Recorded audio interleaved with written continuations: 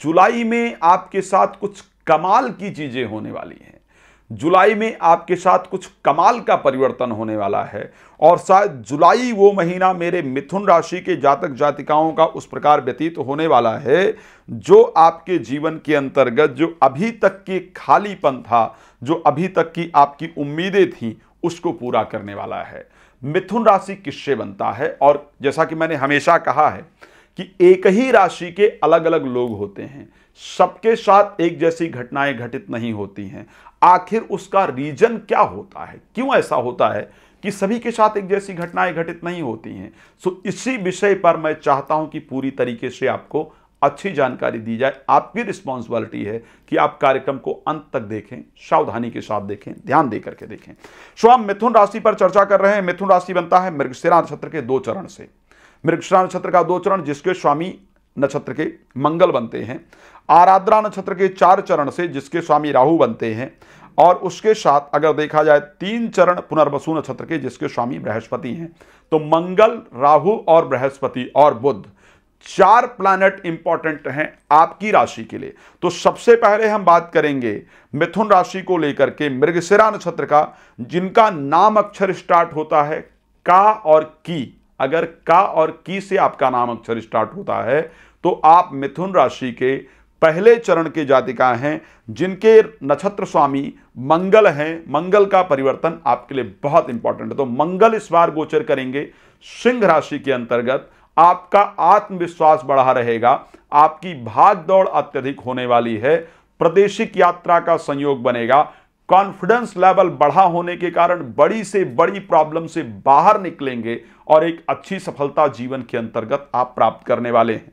सो, कुल मिलाकर के अगर मैं मिथुन राशि के पहले चरण की बात करता हूँ, सो मुझे परिस्थिति बड़ी अनुकूल नज़र आ रही आनंददायक नज़र आ रही है, आपके लिए बेहतर परिस्थितियाँ हैं। अब हम बात करते हैं आराद्रा नक्षत्र में जन्मे, जिनका नाम अक्षर स्टार्ट होता है कु से से अंगा से और छा से। कु, घा, अंगा और छा, ओके? कु, घा, अंगा और छा, जिनका नाम अक्षर स्टार्ट होता है। आपके नक्षत्र स्वामी जो है, वो राहु बनते हैं और राहु मेष राशि के अंतर्गत गोचर कर रहे हैं।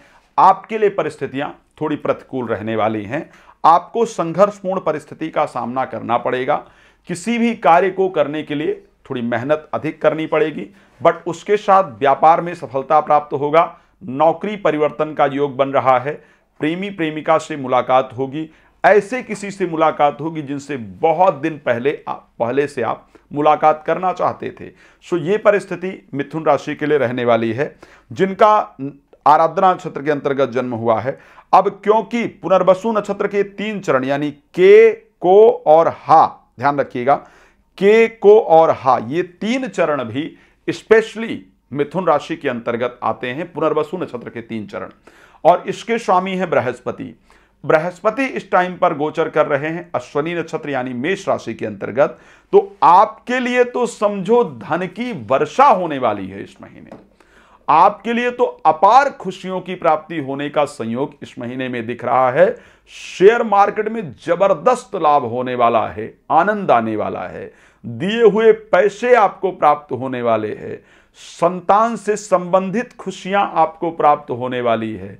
विदेश यात्रा का सुंदर संयोग दिख रहा है और जिस नौकरी को लेकर के इतने दिन से परेशान थे, नौकरी नहीं प्राप्त हो रही है, नौकरी नहीं प्राप्त हो रही है, इतने दिन से कोशिश कर रहे थे, रिज़ल्ट नहीं मिल रहा था, वो रिज़ल्ट आपको इस महीने निश्चित रूप से प्राप्त होने वाला है।